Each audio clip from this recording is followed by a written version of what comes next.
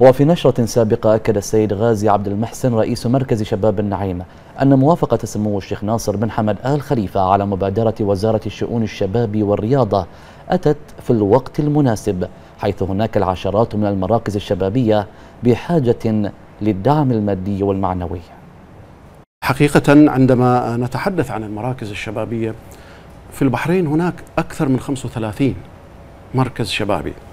أنا سوف أتحدث عن فقط هذه المكرمة وما سيؤول وما ستؤول إليها نعم. آه من آه من تحقيق بعض الأهداف صحيح. التي آه تفضل بها آه سمو الشيخ ناصر بن حمد 35 مركز أو 36 مركز شبابي في البحرين عندما نتحدث في المراكز الشبابية عن الأنشطة والفعاليات التي تقام خصوصا في الفترة الصيفية آه، لا أعتقد أن هناك مركز شبابي آه، يضم المئات من الأعضاء.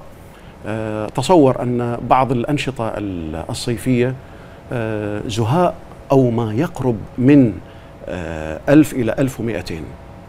بعض المراكز وصلت أعداد المشتركين في المراكز الصيفية داخل هذه المراكز الشبابية إلى 2000 شاب وشابة في السنة الواحدة. فقط تتكلم أنت عن الفترة الصيفية.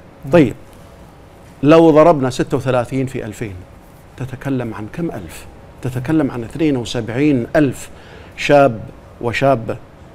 وهناك كاتيجوريز هناك عدة فئات. يعني. نعم. وهناك عدة فئات سنية. في كرة القدم في الألعاب, الرياضية المرأة والطفل المسرح المواهب الشبابية الابتكارات. إذا هذه المبادرات وهذا الدعم سيؤول حتما إلى تحقيق كل ما يصبو إليه شبابنا داخل هذه المراكز.